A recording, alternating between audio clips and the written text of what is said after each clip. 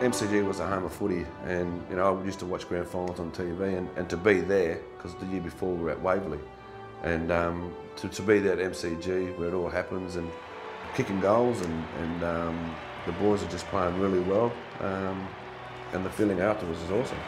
Number 30, second visit up here, Peter Matera.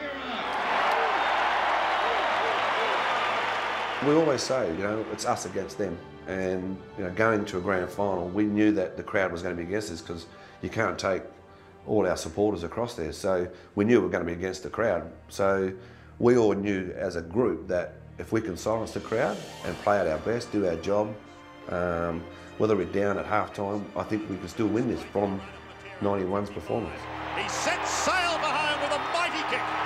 What a goal! You know, a lot of people say about our, our, our midfield, but you know, look at our backline. You know, um, a great bunch of guys that you know that bonded so well. They didn't really have to be told anything. They just played to a, to a structure, and they pretty much were in each other's back pocket all the way through their footy career.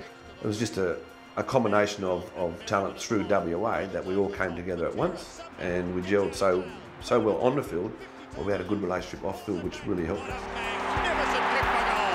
Oh, he can fire it up. We had that desire of losing the year before, going into the to the grand final. There's no way we're going to lose that grand final without all of us getting behind each other and, and, and getting over the line. Matera sets sail for home, and the Eagles hit the. Ever since I was a young bloke playing footy, whether it was at country footy or South Fremantle, um, I always loved getting the footy and just bouncing and trying to beat my opponent.